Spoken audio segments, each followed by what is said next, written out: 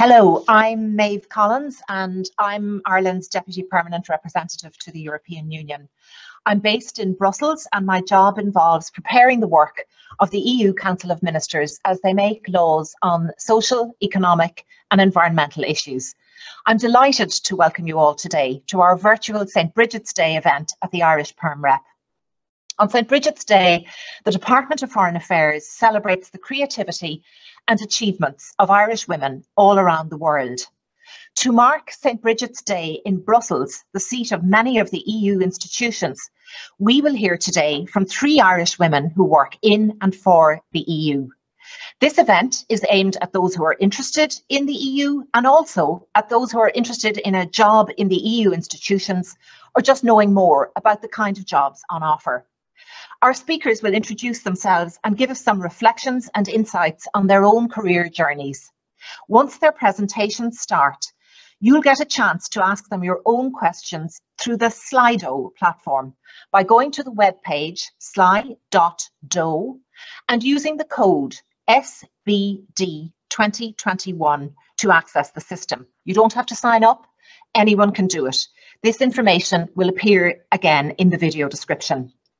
After the Q&A, my colleague Eamon McA will be on hand to answer questions specific to the EU jobs application process. And any question we can't get to today, we'll take up with you by email afterwards. At the end of the event, Eamon will say a few words and he launched the first in a series of five videos made by Irish women working in different roles in the EU institutions. We invite you to follow our Twitter and YouTube accounts where each of these videos will be launched successively every morning over the next four days. Anyway, we're absolutely delighted to have with us today three Irish women, each doing a fascinating job while representing Ireland in Europe. Mairead McGuinness is Ireland's European Commissioner, and she has responsibility for financial services, financial stability, and the Capital Markets Union. Commissioner, thanks so much for taking the time to join us today. Karen Banks is the Deputy Director General of the European Commission's Legal Service. Apart from her own stellar career, Karen has given support to many Irish women through her leadership of the Irish Women's Network in Brussels. Joining us from Kuala Lumpur in Malaysia is Ellen Flanagan, a junior professional in the EU delegation to Malaysia. Ellen is also a former graduate policy officer with us at the Irish Perm Rep, and like myself, she is a graduate of UCC. So it's a great pleasure to welcome all three of you today to share your stories. Let's get started. I'm going to hand over to our special guest, European Commissioner Mairead McGuinness, for some insights. Commissioner, can you tell us how did it all start for you? How, how, how did Europe come into your life? Well, good afternoon, everyone, or wherever you are. Uh, maybe good morning is more appropriate. And just to thank you, Maeve, uh, for your leadership on this issue and to say a very happy St. Brigid's Day to all of us. Um, and I'm really impressed to join Ellen and Karen and yourself this morning. Um, when I look back, I was 14 when Ireland joined the EEC. So in a sense, I have that history of before and, and since. Um, and that's been a long journey. Um, when I was a journalist, uh, after I left college, I would have uh, dealt with European stories all the time because they were central to a lot of the work that I was doing. And clearly, then when I entered politics, you see it fr from another perspective. Um, what I think this morning is about is to, I suppose, show people the opportunities uh, that are out there in terms of their own personal development, but equally for Ireland as a country, how important it is that we have uh, people who are interested in working in the institutions at whatever level and with whatever experience and skills they have. And maybe also from my side, because I have worked a lot with young Irish people and Irish or people of all nationalities, um, I've been hugely impressed by the standards and the ability that young Irish people and young people generally across Europe bring to the institutions, whether it's languages or technology or just their ability to deal with such complex issues. So for example, on, when I got elected in 2004, obviously people approach you to see can they get work and we would go through a process. And I have never been let down. I have always been hugely impressed by those who've stayed one month or three months or five years or whatever. And what's really, uh, I think, important is to understand, you use the word uh, network. How it really it is so crucial for the young people to have that uh, network. It's more difficult today because you're doing things remotely, and maybe that's something that in the Q and A that you could address. Because I would worry about young people being on their own in apartments and not having that social connection. But to go back to my own experience, uh, in a way, what you need to work in institutions, obviously, there's the basic requirements uh, that are asked when you're entering. But above and beyond that, it's about flexibility. It's about creativity. Um, it's about opportunity. And sometimes the freshest and youngest minds come to issues with a very different perspective. And that's what we need. Because if you still only have a one sided perspective, you don't get a better decision making process. Also, the ability to adapt, you know, to change if there an issue arises or to be able to um, uh, contact somebody. In one sense, it's also basic communication skills about reaching out. Um, more and more we send emails or messages through various social media. Um, I think the value of a full stop or a capital letter, these to my mind are still important. Maybe that's gone a bit too fluid, but I think when we are communicating as professionals, we should have those basic standards. And again, in my experience, I have found uh, our young people to be really able to adjust to that.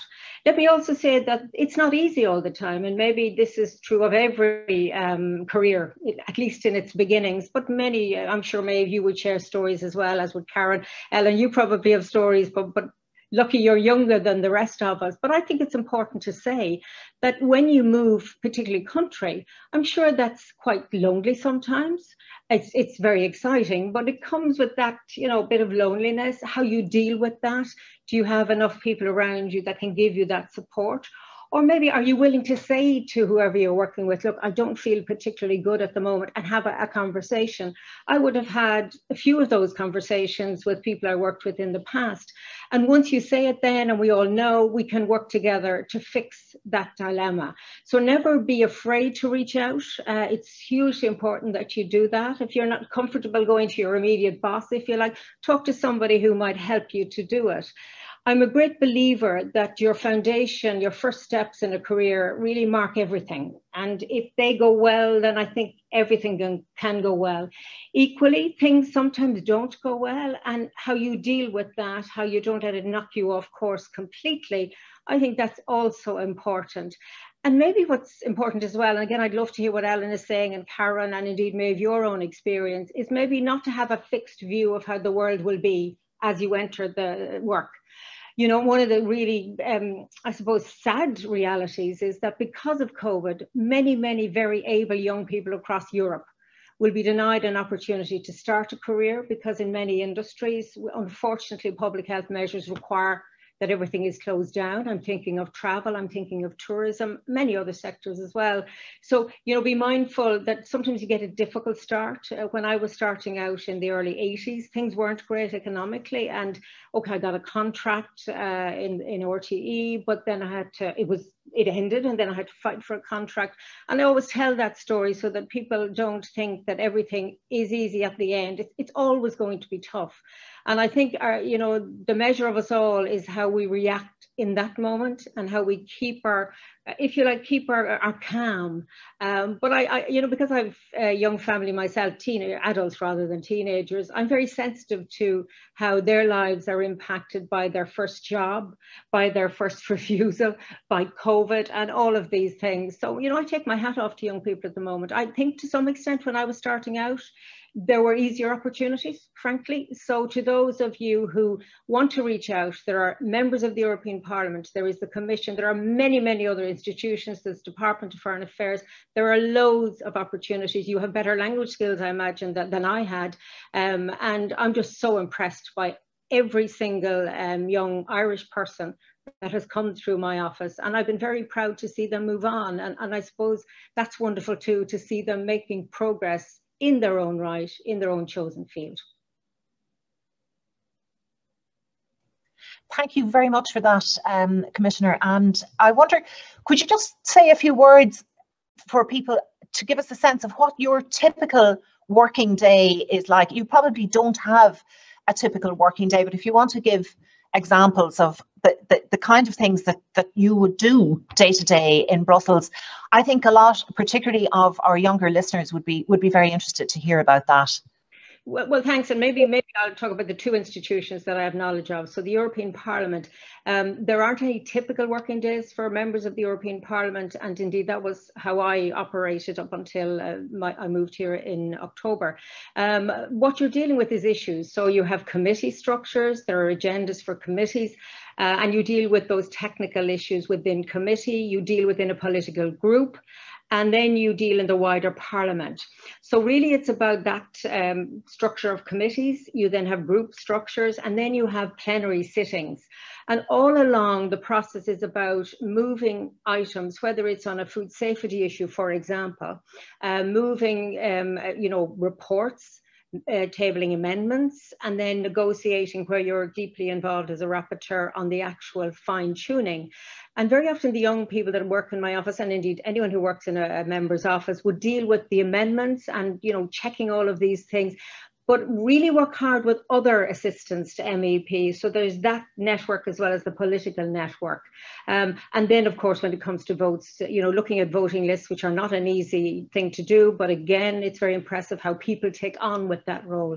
If I move to the Commission, in a way, the, the work here is more detailed on specific policy issues. So for example, on financial stability, those issues that I look after, um, there's one issue, for example, like an anti-money laundering uh, proposal, which will be coming up because we know that there is a lot of dirty money in the system globally, and we want to address that as an issue. I mean, I mentioned COVID and the reality and, and the impact it's having on our economies and on different sectors of society. So we are watching carefully to make sure that banks are lending because we need to have money in the system to allow businesses survive, but also conscious where there may be difficulties for some sectors. And I suppose that's a, an issue I think which will be on our minds for this coming year because we know that this is a crisis uh, we have never dealt with before. It's not like any previous one. We cannot blame anybody um, except a virus that we weren't prepared for. And maybe that's something that we need to check ourselves with, that, that big issue of a global pandemic, while people talked about it, I think the structures and networks weren't put in place to deal with it. They are now, and we are, we are beginning to deal effectively. But I think we will learn hard lessons. So specifically around that issue in my area here, I just have to be mindful around economic issues, banking issues, uh, business issues, making sure that those who are vulnerable because they cannot repay loans don't fall victim to a system that would be cruel to the reality of their lives because lots of people had excellent business plans going into uh, this crisis and their businesses were thriving and then suddenly their businesses were shut. So, I mean, one of the interesting things about all of this is that some sectors um, are thriving. So, food and, and supermarkets and all of that, and cooking and all those things. Uh, restaurants, of course, aren't. And, and here in Brussels, they've been closed for such a long period of time that it will take a long time before we see that recover. So it is about um, ongoing policy work and then other things that arise uh, in terms of uh, what we do on a day-to-day basis. And I suppose that's why all of us rely on our assistants. Um, and that's why we want able young people to come from our universities, our colleges, uh, with whatever skills they have, and to feed into that network. Um, and I think as a country, uh, we know we need to make pro more progress. There were many more Irish people in the system some time back. We've allowed things slip a little, and I think we have to reach out to the colleges uh, to encourage, which they are, young people to think about the institutions. But you know, I have a college student at home trying to study and do lectures at home. And again, for students, that's really difficult. And I'm thinking of leaving certs as well, who've all of this uncertainty. Um, so it's a brittle time in terms of policy and decision making and, and careers. And maybe go back to the point that I made, whatever you start, I suppose don't have a, an expectation that the road will be smooth or without a twist. Um, but I think try and be true to yourself. And I have to say again, going back to the many uh, young people who've worked with me, um, you know, they've all been fantastic fantastic. And whatever issues arose of, as I said, maybe loneliness on occasion or being homesick, which that happens, uh, we've dealt with them once we acknowledge them. So um, there are real opportunities here and I would wish anyone uh, really to look in this direction and every success uh, if that is your chosen path. Thanks, Commissioner. And I think that's a that's a powerful testament to the kind of public service that can be rendered as well um, through a job in the EU institutions. So I'm going to turn now, with your permission, to the next speaker, Karen Banks, who works as the, the, the Deputy Head of the Commission Legal Service. Karen, can you tell us a bit about yourself? Can you tell us about your career path, how you came to do the job you're in? What were the landmarks for you along the way? Well, I'm a bit um, untypical because I was not one of these people who always knew that she wanted to work for an EU institution. Uh, I got here in quite an accidental manner. In fact, I was working as a young solicitor uh, in a country town in Ireland and getting a bit bored and in fact, what I wanted to do was to go back to university and do a master's degree, but I wasn't sure I was going to be able to raise the money to do that. And while I was looking around and trying to figure out how I would get someone to go guarantor for me and so on, I thought about other possibilities. And amongst other things, I wrote to the Commission office in Dublin and sort of said, here's my CV, do you have anything I might be uh, acceptable for. And I got back a very discouraging letter uh, saying, uh, you will be informed of any competitions for which you are eligible. I had never heard of competitions. I had no idea how the system worked. Anyway, to cut a long story short, I ended up uh, organizing the bank loan and going off to London to do my uh, master's degree. And while I was there, the office in Dublin, true to its word, uh, sent me an official journal and said, here's the thing you seem to be eligible for. Why don't you fill out the forms and so on. And so the process of uh, sitting the concours happened very gently for me because I was focused on my master's uh, course and on the wonderful year I was having at the LSE uh, way, way back in the 70s. Um, uh, sorry, that's not right, no, the 80s. Uh, and the, the doing of the competition, therefore, wasn't as nerve wracking for me as it was for other people because my whole life wasn't hanging on it, so to speak. Anyway, at the end of the year, uh, back in Dublin, uh, back in another uh, small solicitor's office, uh, owing a lot of money to the bank, uh, facing into very grim times. We were now in 1982. Um, and the next thing, I get a phone call uh, from the commission saying, would you like to come for an interview? And it sort of just sort of went on like that. So I was very lucky. I kind of tumbled into uh, a job uh, in the legal service because there was someone from the legal service on the panel that interviewed me and uh, he liked the look of me and that was it. I, I got recruited. So I arrived very raw, not really having much clue how the place worked uh, never having done specialized studies in EU law, and I just learned it on the job. That, that was how, how it was. So then as far as uh, the markers in career are concerned, um, I started out, they put me into the competition team in the legal service, which was quite extraordinary because I also had no background in economics whatsoever. So I was having to learn EU law and a very economic uh, dimension of EU law at the same time. On the other hand, it was lucky because my French when I arrived was just schoolgirl French, you know, not at all fluent enough to defend myself in meetings. And the lucky thing about working in the competition area was that that was even then done very largely in English. Um, and that gave me four years to sort of get into the swing of things and look around me and find out about broader aspects of EU law.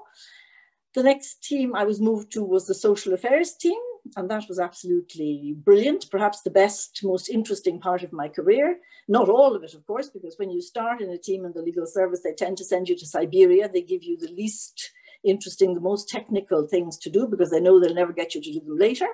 So it was only slowly and by a constant process of lobbying that I finally ended up in my last two years in that team with what I just loved, which was equal opportunities and labor law and that was great. And then I went through, I don't want to enumerate all the different teams that I have been in. I did intellectual property at one point, uh, and my last team before becoming director was the agriculture and fisheries team.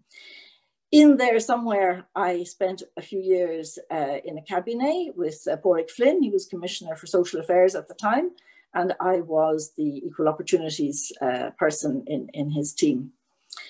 Then in 2011, I became director, so head of the agri-fish team in the legal service, which means that you're giving legal advice to, uh, it was the department that takes care of agriculture, the one that takes care of fisheries, and also part of uh, DG Santé, the part that deals with animal and plant uh, health and so on. And then my current role came about quite by accident. Um, I had never had an ambition beyond becoming director. I wanted that. I knew up to the level of director, I was aiming for that. I wanted to become a head of a team in the legal service, and I had no thought of going beyond. But the then Deputy Director General left early for his own uh, personal reasons. He suddenly decided to go, and the position was free. And my then Director General suggested to me that I should put my hat in the ring, and that's how it happened. Thank you very much for that, uh, Karen. And I think a theme um, that we'll we'll hear more about today is that um, there isn't a planned route that goes in a straight line to uh, a career destination. There are always happy accidents or or, or difficult situations um, that will drive us in one direction or another and that will present opportunities um, or sometimes opportunities to rethink a career choice as well. Mm. Can, can I just ask you, why would you say it's important for Ireland to be represented in, um, in the services that you have worked in? Okay, well, of course, it's very important. And you see that when you're actually doing the daily work.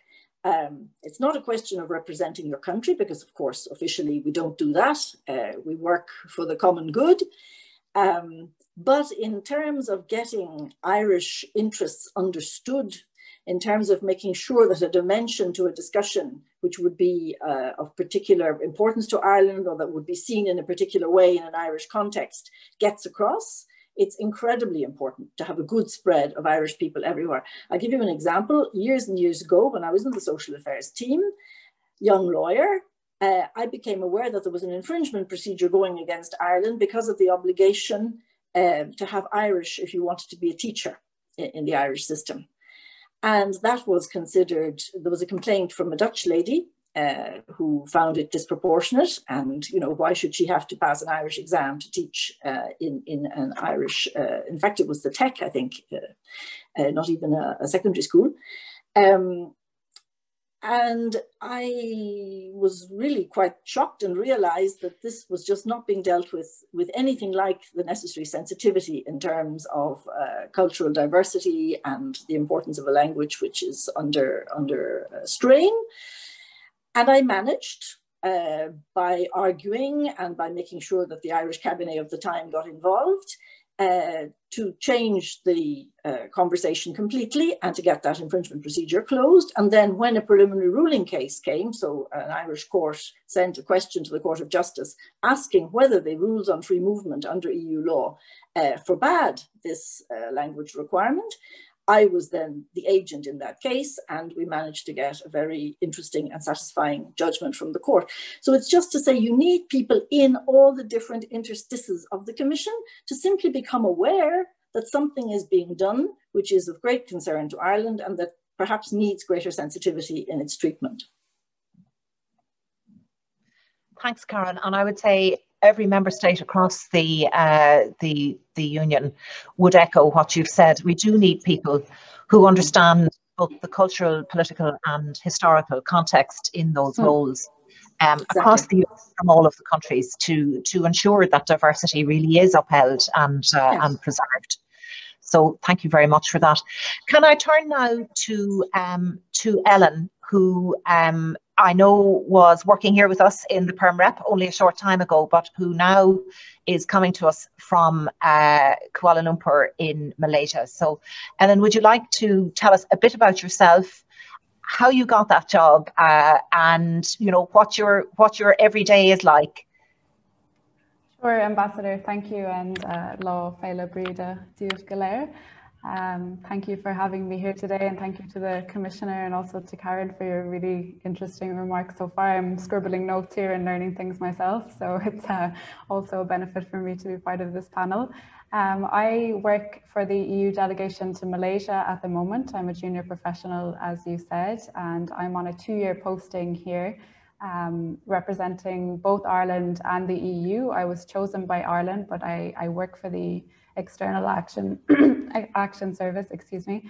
We have about 140 delegations around the world, so it's an extremely interesting job. It's something that attracted me straight off the bat when I understood that the EU has its own diplomatic service that um, it's such there's such a wide variety of um, areas you can cover and things that are of different interest and geogra geographical areas. So I originally originally did a law and French degree in UCC, and that kind of showed me immediately that I was interested in the European Union. Um, I did my Erasmus year in Strasbourg, and I can't stress the importance of doing an Erasmus year if you can at all. It's an amazing experience and during that year, I got to intern in the um, European Parliament as well with an Irish MEP. And I know the Commissioner was mentioning that these are brilliant experiences. And again, I can testify to that. The level of experience you get is just really, really um, brilliant and the insight you get as well. And I learned a lot from the assistants that were there and covering different issues. So I can definitely recommend that for anyone who has the opportunity. And then I, after finishing my law degree, I went on and um, I did a master's in EU international relations in the College of Europe. And again, I think um, I think this is a really good experience to build a network. And I, I don't like to say building a network or networking with people, but I think maybe something like a support bubble is more used these days in COVID times. But uh, the commissioner was mentioning how maybe starting out in your career can be quite lonely. Um, I definitely know that now. Speaking from Kuala Lumpur, I haven't been home in seven months. I spent Christmas here. It's a, uh, it's been a very strange posting, but a, a brilliant one all the same. But um, having that support bubble with, uh, so the College of Europe, there's people from every single member state. They all come at it with different experiences, different um, policy areas.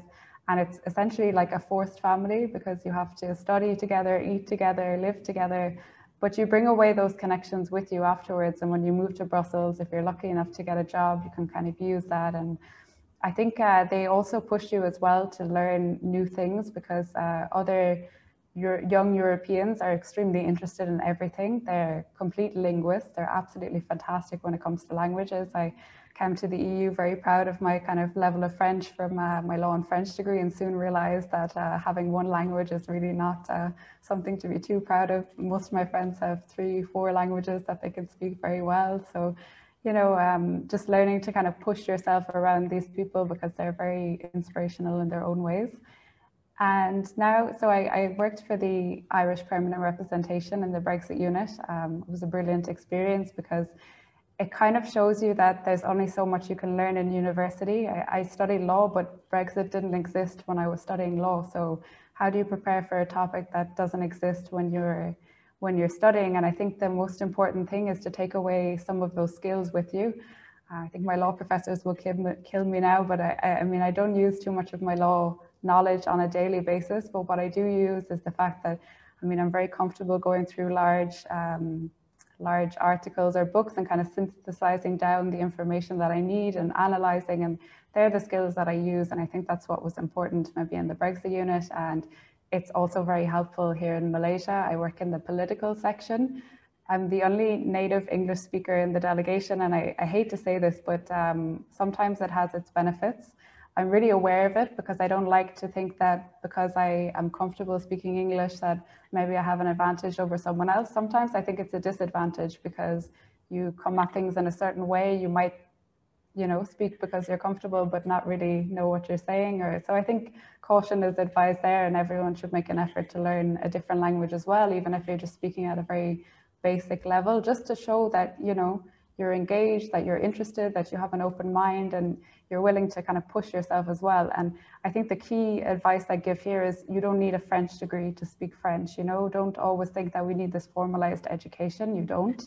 Um, most of the people I know, they didn't learn English through an English degree. They learned it through watching uh, Scrubs on TV or How I Met Your Mother or Friends, you know, and there's a lot of ways you can learn a language without kind of forking. I know Karen was mentioning as well the, you know, forking out lots of money for, uh, for doing a master's or a degree. And we need to be cognizant of the fact at the moment that a lot of young people are struggling. So I think take your education into your own hands as well and be curious about different things. And, you know, you can learn outside of the constructs of university. It's obviously brilliant to have that degree behind you, but um, don't feel like you can't kind of push yourself a bit further and um, take that into your own hands as well. And so, I mean, I'm really enjoying my experience here in Malaysia. I, I, I said I worked in the political section and um, I focus a lot on Erasmus, the Erasmus program here. We fund a lot of young Malaysians to study in Europe and I have to go around to the universities, I speak to them and I speak to their professors. So it's a lot of communication skills, it's a lot of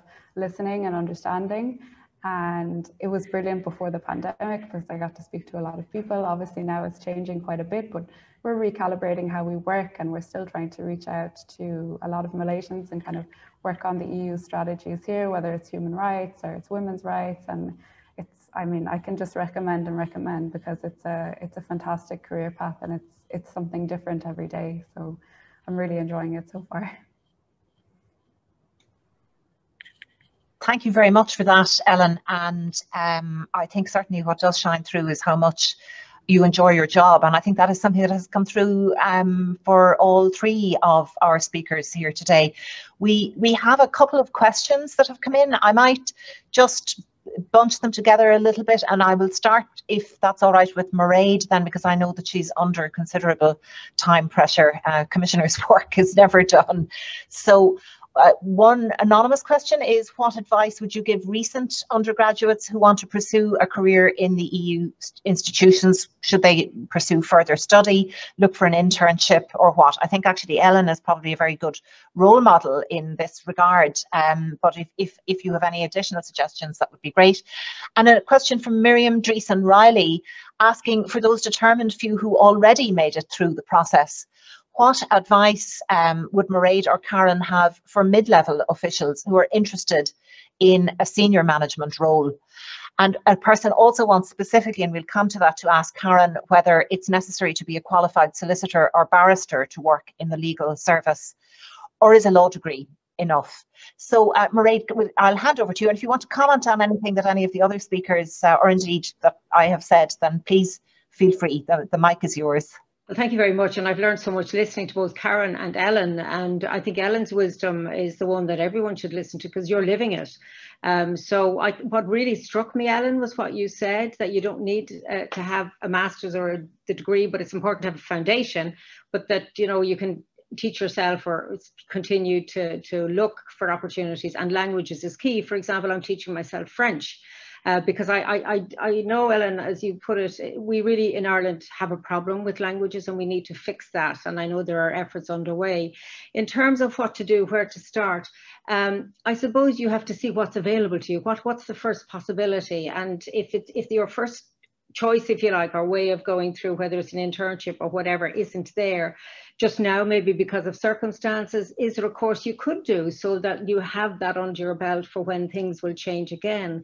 And my advice, um, because, you know, when I started out and I was 21 when I graduated, I had remembered a few years earlier writing to RTE about looking for a job, a bit like Karen's, except mine was more childish writing, I think. But it's funny how that actually came to pass. So it's no harm to reach out to um, both Irish MEPs, for example, but also MEPs from other member states if you have a CV and you're looking to for some experience.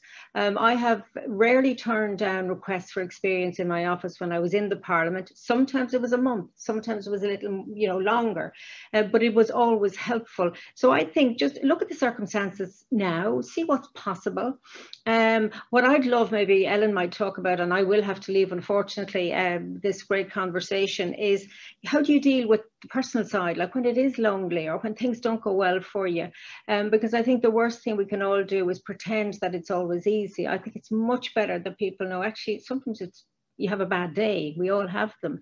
On the issue of uh, those mid tracking, so people who are there now and how to uh, progress, Um, I think that there are opportunities um, for, for Irish people because we have fewer of them than we need within the institutions. I think when it comes to, to women, there is an awareness, it has been gathering slowly, that we do need to promote women into all sorts of areas within the institutions. And I think in this regard, and maybe again, Karen has better direct knowledge, is to see where your area of interest is. And I was interested, Karen, you had a focus and you wanted, and it, it worked. Um, sometimes that's a good approach. So you can see that there will be an opportunity coming. Sometimes you might have to take the scenic route, do something else in order to arrive at where you actually want to be. And that can be a hard thing to do if you think, I want to go straight there. But I don't think any of us on this uh, talk, maybe Maeve, I don't know, you haven't shared just the, the secrets yet, but I don't think any of us on this talk would have gone a direct way for anything. It just, that's not how life is. Um, but I suppose before I just leave this really important event to say um, that we need more young Irish men and women uh, within the institutions. Um, but also there's other places outside of the institutions, um, organizations, agencies, NGOs that do want to recruit um, young people. So there's also that opportunity. Um, but I, again, to go back to compliment um, our permanent represent representation here in Brussels, who do so much work, and Maeve in particular for pulling this together. Thank you for your videos because they're really, really excellent. Thank you, Karen. We see each other occasionally, but not physically very often. And Ellen, it's been a real pleasure to meet you, even if it is only virtually, and to hear of your enormous experience. Um, and the work that you're doing is very important important because while we sometimes, you know, worry about what's happening within the European Union, in fact, it is the rest of the world where we also need to engage. And our, if you like, recent strategy about, you know, being stronger as a European Union is about being able to do more globally. So you're part of that movement, Ellen. Well done. And thank you all. Thanks again, Maeve, with apologies that I'm leaving you now. And I'll say hello to Eamon as I say goodbye to everybody. Take care. Have a lovely day. Bye-bye. Thank you. Thanks very much, Commissioner, um, and um, the best of luck now with the rest of your day. And thank you for the support um, that you give us here as well in in a great many of our activities, um, but this one in in particular, which I can take very little credit for. By the way, there's a, a team of very hardworking people working on this remotely who deserve uh, far more credit for this than, than I do. But thank you and um, goodbye, and we hope we'll see you soon. Karen, I wonder if I could ask you um, just to speak to the question about the qualifications needed to work in the legal service, but also what advice you would give to mid-level officials who are interested in uh, in a management role, or to mid-career uh, people who are interested in perhaps switching to a job in in the EU. Okay, well, uh, on the question of the qualifications needed to become a member of the legal service, no, there is no uh, requirement for a professional qualification. You don't have to be a solicitor or a barrister or uh, have any other national title. You do need to be a lawyer. So you need to have at least one law degree. And these days, I managed to get in on a knowledge of national law. I think I was the last generation that could do that. These days, you certainly would need to have a very good grounding in EU law.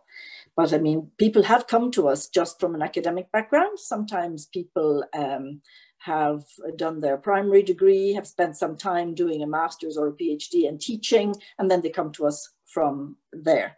So you just need to be usable, and that means you need to know EU law. So that's that's all that's required. On the question about uh, people who would like to become um, senior managers, um, I think the first thing I would say, but this is my perspective, other people might have a different perspective on it. I would never have gone for a job that didn't really interest me. I, I have always thought that you will not do well a job that you don't really like and that is dealing with an area that you aren't very inspired by. So I think it's important to be careful and not to apply just all over the place. Focus your energies on something that you think you genuinely are interested in and could do well. Um, and then, of course, uh, there's the question of what you need to project in order to get selected. I think people skills uh, are incredibly important, more important than what you know. uh, and an interest in the big picture items. I mean, uh, when the commission is choosing people at director level, they're definitely looking for people who can take the helicopter view, who are interested in general policy, who are interested in the impact of whatever policy you might be dealing with on other people's work, on the things that are going on, on other legislative proposals, or whatever the case might be. So you certainly need to be the kind of person who can lift your head up from what you're focusing on today and think about uh, wider implications. Um, and I think those are the two main things to, to, to make sure you're focusing on broad issues as well as the detail of your daily work and make sure that you are genuinely interested, because not everybody is genuinely interested in managing other people, because there are different kinds of people and we need both those who are you know, what I call vedettes, you know, the stars, the ones who are great performers in their own right, but who are not necessarily made for or willing to put themselves into the background and just facilitate the work of other people. And if you're that kind of person, then it's foolish to be looking for a management job. And I think people need to examine themselves a bit more honestly than we sometimes do. We're led by the structures, especially of the Commission, but I think other institutions as well, to presume that moving forward must mean moving into a management role. And I just think it isn't for everybody. So I think that's an important question to ask yourself. Karen, thank you very much. And um, I think those are they, those are very useful insights, and they're actually also insights that we don't hear very often. That I mean, you should ask yourself if you're interested in managing other people before you before you apply for a management position. And I think it is excellent advice that you should, of course, be interested in in the substance of the job while also maintaining an interest in the bigger picture. Um, I'm going to go back to Ellen now because I think um, Mairead raised a very interesting point, as as did you yourself, Ellen, around that word that we've all heard so much about in this past uh, year, resilience. I, I, I, imagine that whenever COVID is over, there will be um, there will be an entire vocabulary that we will not want to hear again. But the word resilience is one we're hearing a lot about. It means a lot of different things, but I think in our career uh, that brings us abroad, um, what it means is is an ability to handle the bad days um, and to enjoy the the good days. And I, would like to hear, Ellen, your perspective on that. You know, on on, on what helps you along uh, when when you can't get home for Christmas, when you're on your first um, long distance posting, um, or when you encounter real cultural difference, um, which may go beyond simply a, a, linguistic misunderstanding, but a genuinely different way of of seeing the world from from another person or another group of people. Anyway, Ellen, you talk to us because you're you're there at uh, at the cold face. Thank you, Ambassador. I think it's a it's a tough question, but um, I mean, I would always say to kind of young people now, and I I mean, I'm only two or three years ahead myself, but just to be cognizant of the fact that we are dealing with kind of increased pressures all of the time. We're expected to maybe know a lot more about a lot of things, but also work in a very complicated world and a very competitive world, I think, as well. Now there are 27 EU member states, and you're essentially maybe competing with a lot of those very bright people to get um, positions. And I saw someone in the chat box asked about um, imposter syndrome as well and how it's like to work with uh, these people? And I think it's a very good question. And I think it's important to take a step back and to try and be confident about what you know yourself, about what knowledge you can bring. And if you haven't thought, thought about that, you know, you need to you need to think about that. You need to know what value you can bring. But I also think it's important. I mean, I always say like, you know, push yourself and learn new things, but there has to be a limit to that and there has to be um, you have to be aware as well that we're not, no one is a super person, particularly a young professional. I think we can't, there'll never be a day where we're saving the world or we're fixing the problems of the commission. You know, we come in at a lower level and you need to be aware that we're still learning and we have a lot to learn. So I think two main things you can do, and one is to reach to people above you. I think um, you know, you might be a bit intimidated when you come in at the start, but all of your colleagues at higher levels have dealt with these same pressures, these same issues. So reaching out to them and maybe a more informal way and asking their advice and how they transitioned at the start, I think it's very important. But secondly, and maybe even more important, is to build a friend group around you and people who understand what you're going through because you know there are different conditions now in terms of salary in terms of living in brussels or abroad and all these things can take an impact on young people. So i think it's important to have other people that understand you. And you know you can do that in very simple ways. Um, i mean here this is a bit silly but uh, badminton is the national sport of malaysia. I'm terrible at badminton but i started playing just to you know just to meet people and pick up something new and you know take it easy. And um, i'm still terrible at badminton but it's been a way to kind of de-stress. And um, i think things like that are important that we're not always pushing ourselves too hard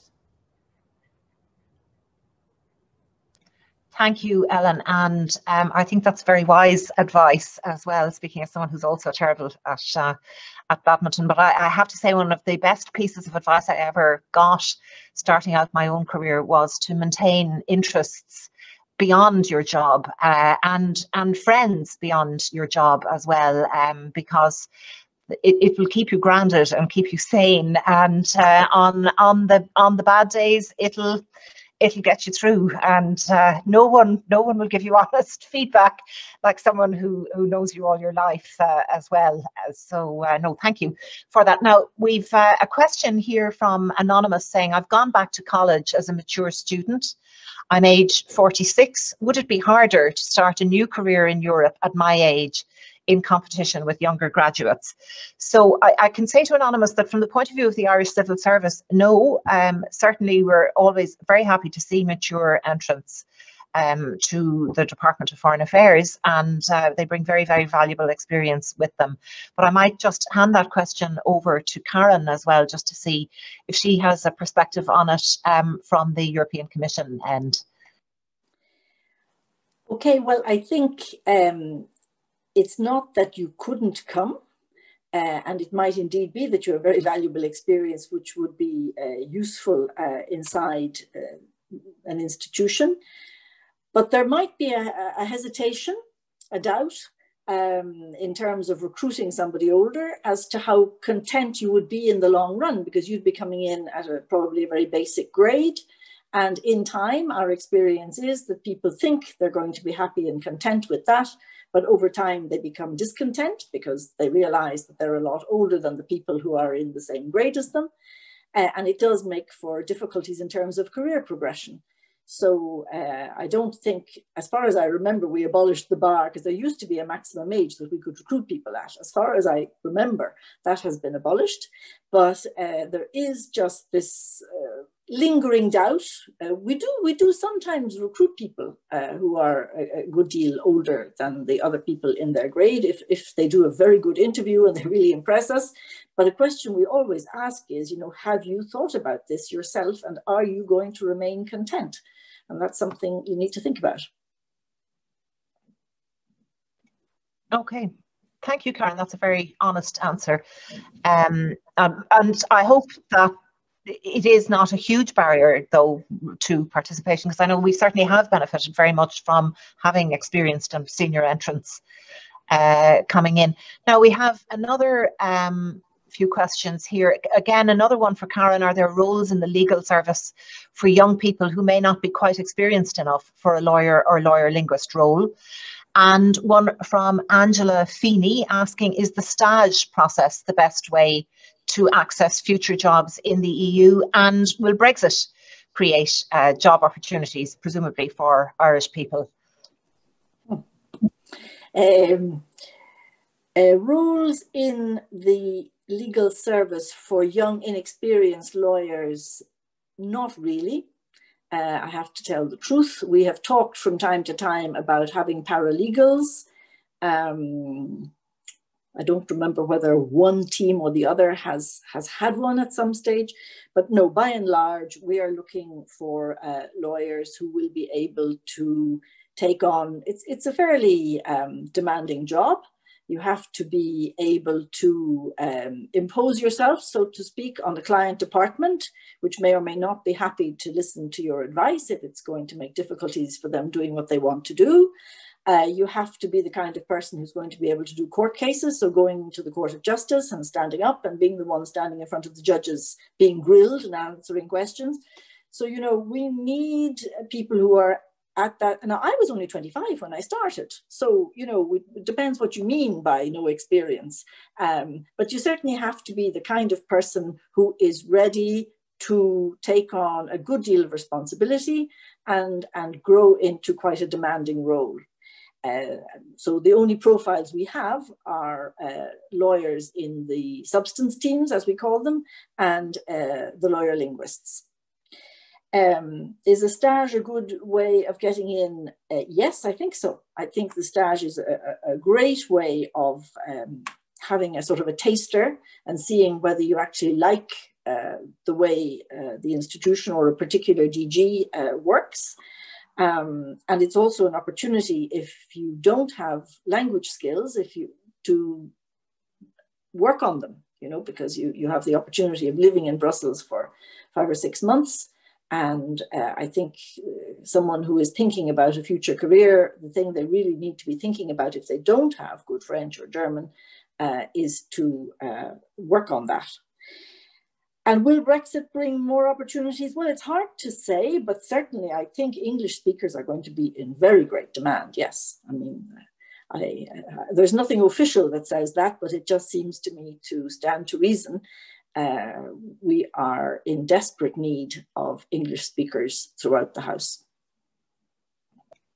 Thank you, Karen. I'm just going to ask Ellen to say one or two things about roles for young people in um, in the EU generally, because you're a junior professional in delegation, Ellen. And um, I worked in an EU delegation myself some years back at around the time that this um, scheme uh, came into development. It was just after the EEAS uh, was set up. And I think it has it has both benefited I hope many young people, but it has certainly benefited the work of a great many of uh, the European Union's delegations outside the EU. I should add that uh, the EU delegations are a bit like embassies in other countries outside of the European Union. So, do you want to tell us a little bit about that, Ellen? And then I think um, we're going to have to bring this to a close because then nearly an hour has flown by, and I'll be handing over to my colleague Eamon after that. But anyway, Ellen, fire ahead there. Thanks, Ambassador. I, I think it's, um, you know, there are a lot of junior professionals in delegation. We have to go through a competitive process and it's chosen by the member states. A lot of those JPDs have done a blue book stage in the Commission or in Brussels before they were chosen for that role because again it is quite competitive so maybe to set yourself aside it's good to show that you already have some experience within the institutions um, so it's not unusual to do a stage in Brussels than to do something like the JPD or else um, I think the stage is a brilliant opportunity then to go on and do the CAST, which is the kind of temporary roles that you can take up in the commission. You also need to maybe think about which inst institution you're interested in because the commissioner also brought up the opportunities that are in the European Parliament. So it's also a fantastic opportunity if you want to be an assistant.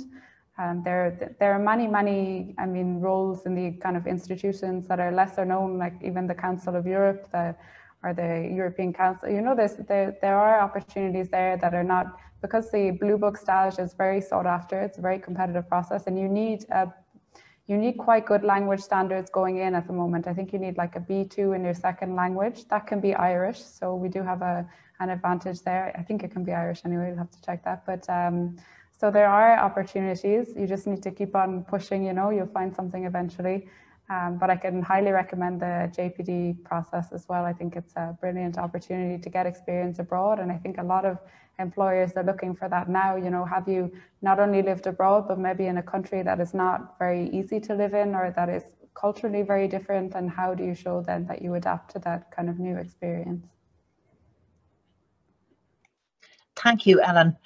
Um, now we have a few more questions, but I think I might ask um, when I hand over to my colleague Eamon McGee to say a little bit more about the kind of support that we uh, offer to Irish citizens already in Brussels in particular to access careers in the EU institutions. But first, I'd like to thank um, each of our guests for taking the time to reflect on your careers with us. It's been a real privilege just to hear what you've had to say. And I'd like to thank those watching for their great questions. And I hope that wherever you are watching, you found the event valuable. As we know, the EU is made up of 27 member states, so there's a guiding rate as to the percentage of jobs that can be held by any one nationality, and it's based on population size. So in Ireland's case, that's about 1.6% of EU jobs. And at the moment, we're a little over that. However, as I think both Karen and uh, Commissioner McGuinness have alluded to, many of the Irish in the EU are approaching retirement age. So in a few years' time, Ireland may well be underrepresented. Um, another key figure, given the day that's in it, that I'd like everyone to think about is that Irish men outnumber Irish women in senior management posts in the Commission by about two to one. Uh, and that isn't a reflection, an accurate reflection of, of the, the abilities of Irish men and Irish women.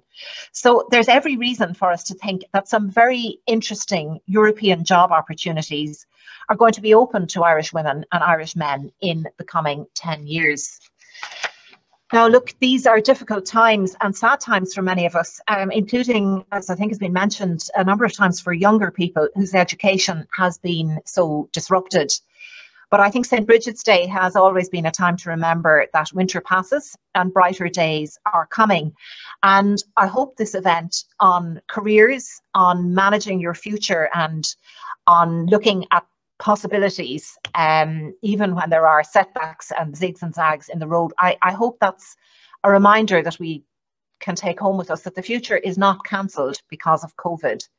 And I'd like to say that to, in particular, to all of the young people who are listening uh, to this today, that uh, you know there there are still many opportunities uh, ahead, and I hope that many of you will think about finding opportunities within the EU because because we need your contribution and your voice here.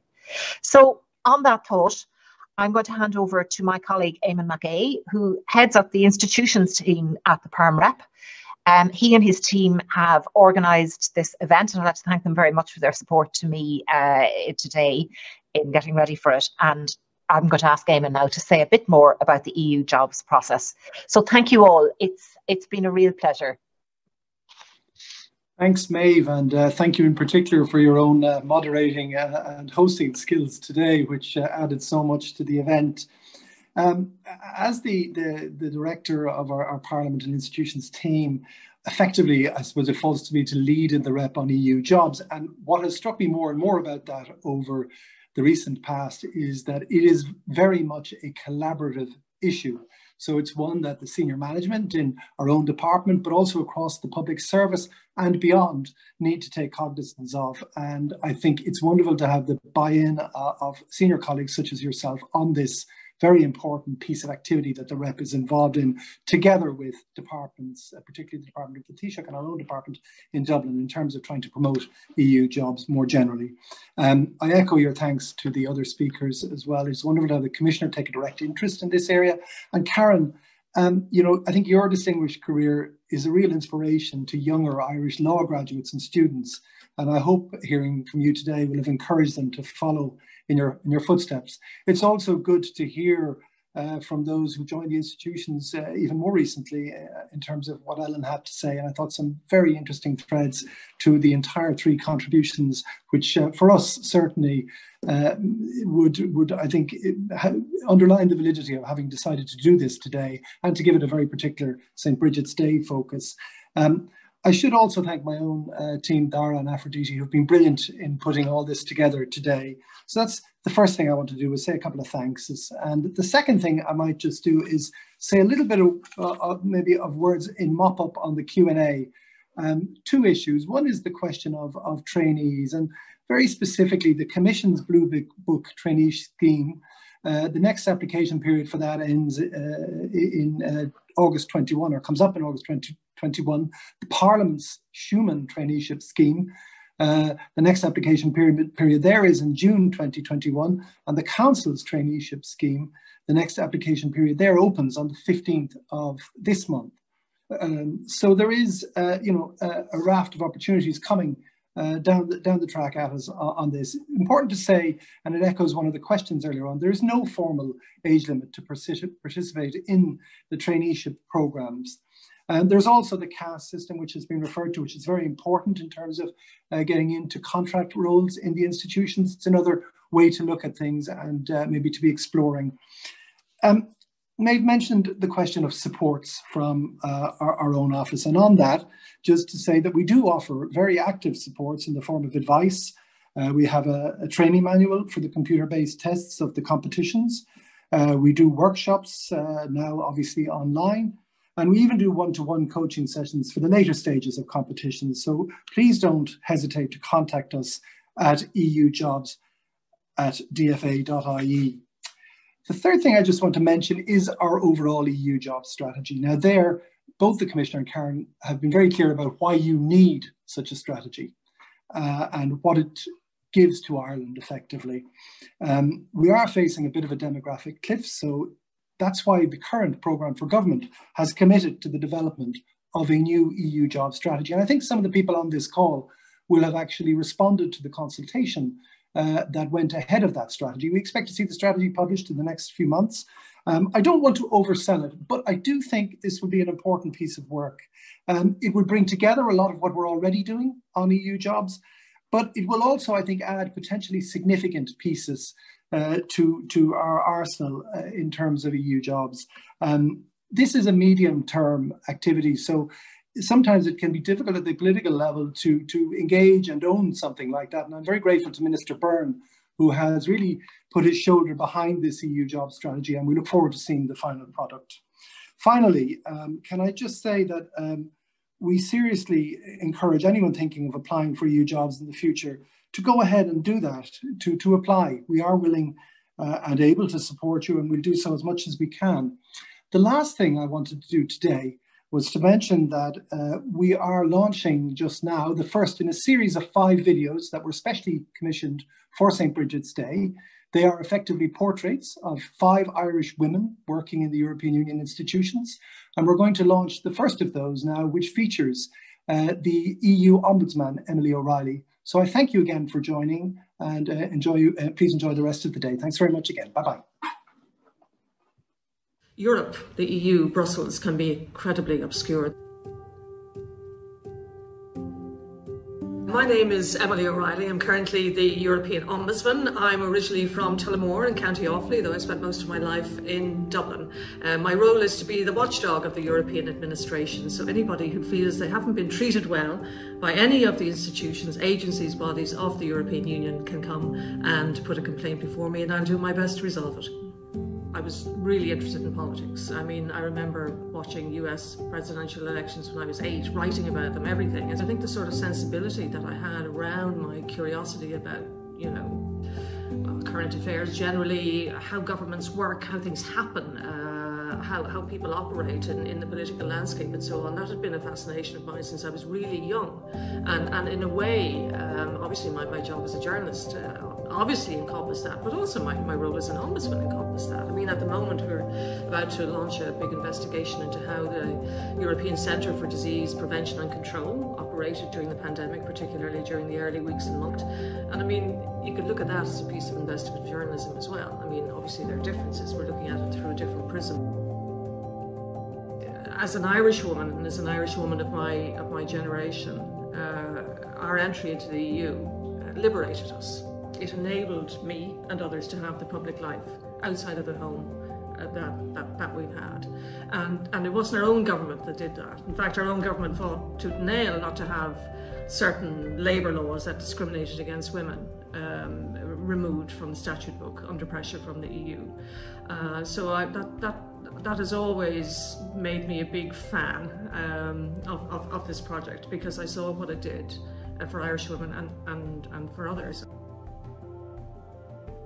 The occasion was the anniversary of the Treaty of Rome, which created the EU effectively, and there was a wonderful celebration in Rome, actually in the building that uh, that the treaty was signed.